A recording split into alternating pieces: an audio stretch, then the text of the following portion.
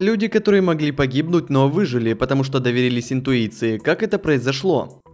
Однажды мы с классом поехали в поход. Нас было 15 детей и четверо взрослых, включая моего отца. Мы отъехали от города на приличное расстояние к лесу на автобусе, после чего должны были пройти пешком полтора десятка километров до деревни, где планировали остановиться дня на три. Когда мы вышли из автобуса, то решили устроить небольшой пикник. Чтобы набраться сил, отправились в путь. Большинство детей очень устали, поэтому их посадили в специально подготовленную на этот случай тракторную тележку с моим папой, и они уехали сильно вперед от нас. К слову, из детей остались идти только я, моя лучшая подруга и трое взрослых взрослых. Минут через 15 после того, как мы начали идти, сгустились тучи и примерно еще через минут 20-30 начался сильный ураган. Я это поняла, когда передо мной начали падать деревья. Дети, которые поехали на тракторе, забрались под тележку и с ними ничего не случилось. А вот наша ситуация оставляла желать лучшего. Но тем не менее, наша бесстрашная учительница решила вести нас вперед, в то время как я умоляла всех остановиться и переждать, пока ураган закончится. В один момент мне стало настолько страшно, что я просто заорала изо всех сил, чтобы все остановились. От неожиданности все замерли на секунду. Буквально почти сразу же перед нами поперек дороги упала большая сосна. Бог знает, что бы с нами случилось, если бы мы не остановились тогда. После этого наша учительница решила, что и правда разумнее будет остановиться и переждать, пока все закончится. Два года назад в игре я познакомилась со своим другом. Не так давно он рассказал мне, что пытался себя убить до нашего знакомства. У них дома есть пистолет, но в тот день его дедушка вытащил пули из-за плохого предчувствия. Он хотел повторить попытку, но передумал. Как он сказал, общение с тобой спасло мне жизнь. Я правда рада, что познакомилась с ним. Был сильный ветер или из железа оторвало от крыши. Не знаю почему и как все произошло. Единственное описание, подходящее к этому, это чутье, как у Человека-паука. Меня буквально током шибануло, я пригнулся, чувствуя одновременно движение воздуха, исходящего от листа железа. Этот лист железа снес заборчик, порубив хлипкие доски, а мне бы голову с плеч снес. Могу предположить, что такое чувство шухера работает лишь тогда, когда идет угроза жизни, а кроме этого случая такого больше не было. Это не моя интуиция, а способность животных предчувствовать грозу. Я собиралась с собакой пойти гулять в лес, но он упорно отказывался выходить из дому. В итоге я плюнула и начала заниматься домашними делами. Через несколько часов по округе носились машины пожарных. Над лесом, в который я собиралась идти, прошлась сухая гроза. Несколько грибников пострадали.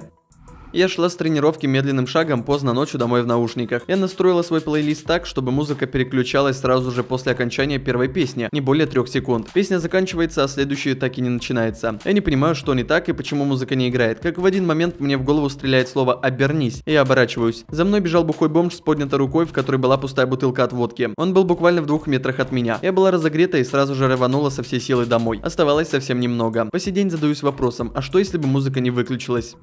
Когда мне было 8-9 лет, мы с подругой пошли гулять. Мимо нас проехал красный Жигуль и остановился. Я оборачиваюсь, и оттуда выходит мужчина, подходит ко мне и дает конфетку. Дверь машины еще открыта. Моя подруга сразу почувствовала, что что-то не так, и начала меня тянуть, чтобы мы ушли быстрее. Я снова посмотрела на конфетку, но подумала, что нужно действительно уходить. Мы ушли. Только повзрослев, я поняла, что это, возможно, был педофил. В те времена их было очень много. И подруга спасла мою жизнь. Когда я был в Омске, то как-то раз переходил дорогу по улице Стрельникова. Я изначально хожу очень быстро, но в тот раз я просто подумал ускориться. В итоге я ускорился и услышал проехавшую мимо машину. Один удот залип в телефон, пока ехал и не смотрел на дорогу. Он ехал в крайней левой полосе. Заметил он меня лишь когда был в метре от меня. Он нажал на гудок и разбудил всю улицу. Я и один дед, который шел за мной в пяти метрах от меня, начали материть этого водятла. Я нервничал очень долго. Меня спасла моя прихоть в быстром темпе. Ненавижу тех идиотов, что за рулем залипают в телефон. В один день мы с парнем поехали по делам, но я почему-то переживала, что мы опоздаем. Хотя мы не были ограничены во времени, но я его все равно торопила, и выйдя из метро, наши телефоны начинают звонить, и мама говорит, метро взорвали. Я понимаю, что мы приехали раньше всего лишь одним поездом.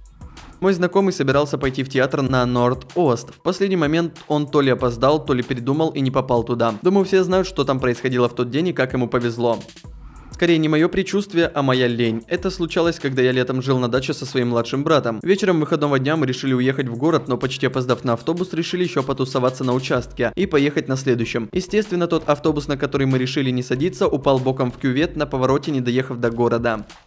Пару лет назад зимой я решила сходить в магазин. Вышла из квартиры, но решила вернуться за наушниками. Когда я подходила к магазину, буквально в двух метрах от меня с крыши упала глыба льда со снегом и сломала козырек магазина, в который я собиралась зайти. Боюсь представить, что те пару секунд, которые мне понадобились на наушники, смогли меня уберечь от трагедии.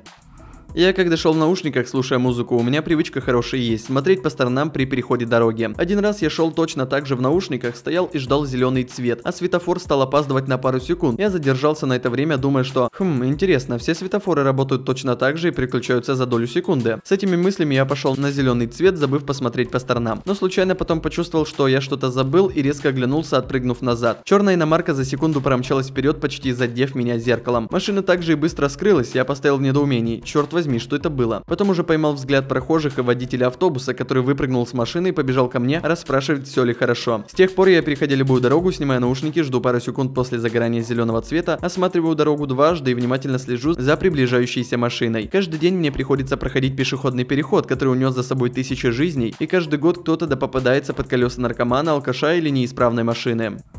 Когда мне было года 4, маме нужно было поехать куда-то на автобусе. Я тогда начал как умалишенный ее отговаривать. В итоге она оказалась дома, а по новостям показали тот самый автобус в аварии, вроде как мало кто выжил. Много разных историй было, но я не склонен сильно верить в такое. Слишком хорошо знаю маму, чтобы доверять ей на все сто. Шел в магазин за хлебом, стою на светофоре, стоял я чуть ближе к дороге, чем все остальные люди. Начинает загораться желтый для пешеходов, принимаю, наверное, самое нелогичное решение за всю мою жизнь. Начал завязывать шнурки, просто без причины. В тот момент думал, что я сделал это зря, ведь расклячив жопу, буду мешать людям пройти. Наверное, так бы оно и было. Через 2 секунды прямо перед пешеходами проносится на бешеной скорости тонированная девятка с музлом в салоне, классика. Понимаю, что если бы я сейчас пошел бы по переходу, то пешеходы остались бы целы, а меня сбило бы, так как стоял чуть ближе к дороге. Остаточный шок до конца того дня. Я один раз с помощью случайности выжил. Короче, я собирался ехать к бабушке на велике. Ехал, выехать на дорогу хотел. Но в последний момент я посмотрел направо. Там машина ехала быстро, я затормозил, и она проехала. Я заранее не заметил машину из-за того, что там справа был дом. Из-за этого надо было в упор подойти к дороге, чтобы заметить машину. Мы с другом пошли по грибы в лесополосу. Мы были там пару часов и уже собирались ехать домой. Но к нам подъехала темная машина и водитель сказал, что подвезет нас. Но мы отказались и невероятно быстро сели на велике и поехали по полям. Через три дня я вижу в новостях, что этот человек оказался педофилом. Мы с другом были в ужасе, нас трясло от этого, но мы спаслись.